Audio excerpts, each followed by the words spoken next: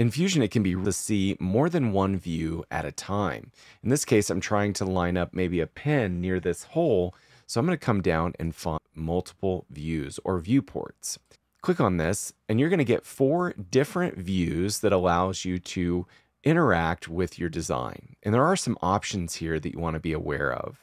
The first one is that you can change any of these views and their display style. So if I want to see something that is in wireframe to make it a little bit easier to understand this backside, I can also come down and stretch or move this viewport to give it more size, make it easier to view, but also to simplify what's on the screen.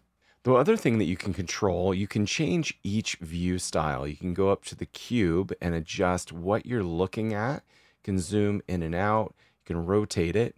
And so you can kind of manipulate each view, whether it's with rotation or with the view cube, to get exactly what you'd like. And if I just want two views, of course, I can drag this near the bottom, and this is going to limit me to these two views. When you click on a view and you go to the viewport, you have this ability to reset views as well as synchronize. When I synchronize, it's going to try to bring everything back.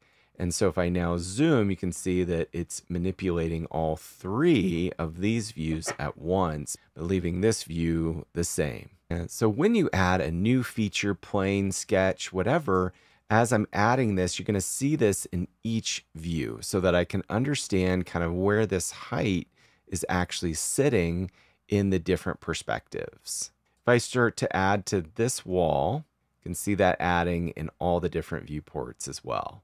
So I hope this helps on your next complex design. I'll see you in the next video.